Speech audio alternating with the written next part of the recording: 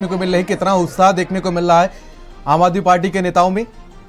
जी बिल्कुल जिस तरह से तस्वीरें सामने आ रही है जिस तरह से मनीष सिसोदिया संबोधित करते हुए नज़र आए थे उन्होंने साफ़ तौर पे कहा कि सत्रह महीने का जो लंबा सफ़र रहा वो काला सफ़र रहा कहीं ना कहीं बहुत ही प्रताड़ना उनको झेलनी पड़ी बहुत सारी ऐसी चीज़ें थी जो सत्रह महीने मनीष सिसोदिया जेल में रह, रहने के दौरान उन्होंने झेला था। अब सत्रह महीने के बाद जब वो जेल से बाहर आते हैं तो कहीं ना कहीं आम आदमी पार्टी के कार्यकर्ताओं के बीच में जो जोश देखने को मिल रहा है जो खुशी देखने को मिल रहा है वो तस्वीरों में साफ़ तौर पे नज़र आ रहा है। लेकिन देखा गया था कि जब मनीष सिसोदिया को कोर्ट से राहत मिली थी जब उनको जमानत दिया गया था तो उनके परिवार वाले भावुक हो गए थे उनकी पत्नी भावुक हो गई थी उनकी माँ भावुक हो गई तो कहीं ना कहीं ये जो सत्रह महीने का जो सफ़र रहा है मनीष सिसोदिया का जेल में तमाम आरोप लगे थे मनीष सिसोदिया पे।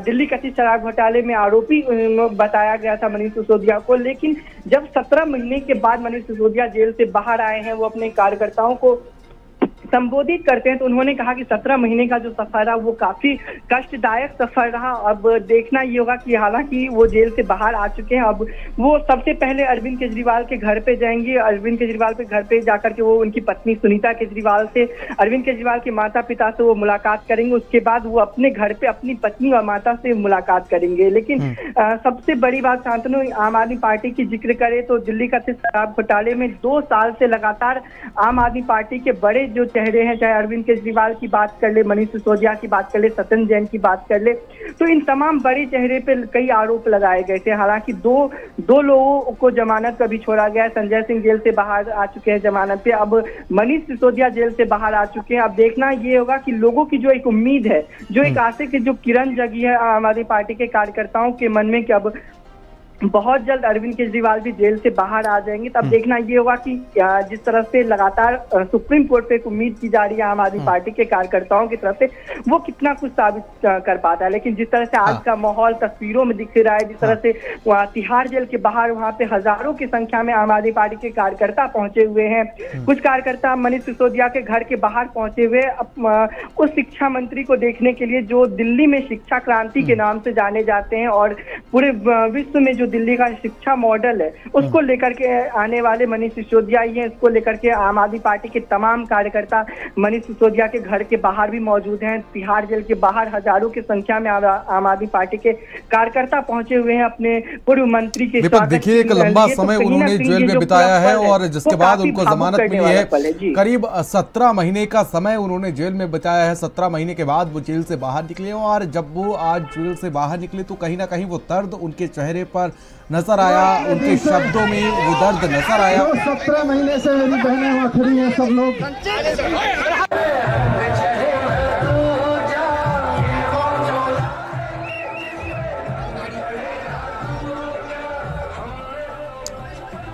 दीपक आवाज़ पहुँच रही है आपको?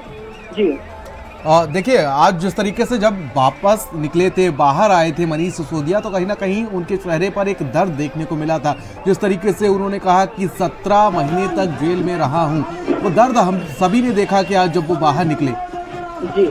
जी, बिल्कुल। जिस तरह से जेल से बाहर निकलने के बाद मनीष सिसोदिया जो संबोधित करते हैं तो उसमें उन्होंने साफ़ तौर पर कहा कि सत्रह महीने का जो सफ़र रहा, वो काफ़ी व्यथा से भरा सफ़र रहा, काफ़ी तकलीफों से भरा सफ़र रहा। आमतौर पर देखा गया था कि शांतनु की जब मनीष सिसोदिया को तबियत, उनकी तबीयत खराब होती है तो उनको मेडिकल रिलीफ के लिए, कुछ दिन के लिए जेल से बाहर छोड़ा जाता है, वो अपने परिवार के बीच में गए थे।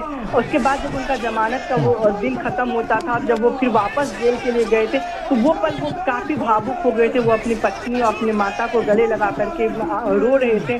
तो वो भी क्षण हमें याद है, वो हमारी पार्टी के कार्यकर्ता जब वो क्षण देखे थे तो कहीं ना कहीं वो भी काफ़ी भावुक हुए थे। और लेकिन अब जब वो पूरा जो सत्रह महीने का सफ़र रहा सत्रह महीने का जो संघर्ष रहा, वो मनीष सिसोदिया का आज खत्म हो चुका है और मनीष सिसोदिया सत्रह महीने के बाद जेल से बाहर आ चुके हैं। तो कहीं ना कहीं आम आदमी पार्टी के कार्यकर्ता और खास करके जो उनकी बूढ़ी माँ और उनकी जो बीमार पत्नी है उनको काफ़ी आश्वस्त करती है। ठीक है दीपक। ठीक है। पिछले सत्रह महीने में कई गुना बढ़ गए और पिछले सत्रह महीने में मैं जेल में दिन से जो सत्रह महीने से मेरी बहनें वहाँ खड़ी हैं सब लोग। एक आदमी और खासतौर से दिल्ली के स्कूलों का एक एक बच्चा देश के स्कूलों का एक एक बच्चा दिल से मेरे साथ रहा है हूँ।